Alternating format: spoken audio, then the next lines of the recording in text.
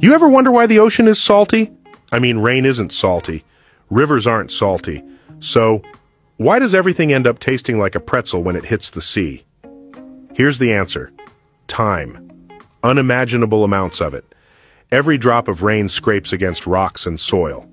It picks up tiny amounts of minerals, and especially sodium and chloride. That's salt. And all those minerals flow into rivers. Then rivers flow into oceans. But oceans? They don't flow anywhere. They're the planet's final destination. A 3.5 billion year chemical trap that never drains. Salt goes in, but it doesn't come out. Over eons, the salt built up. Not in chunks, but in atoms. One rainstorm at a time. Today, if you boiled all the water off the oceans, you'd be left with over 50 quadrillion tons of salt, enough to build a 500-foot thick layer of crystals over the entire planet. So the next time you taste seawater, know this. You're sipping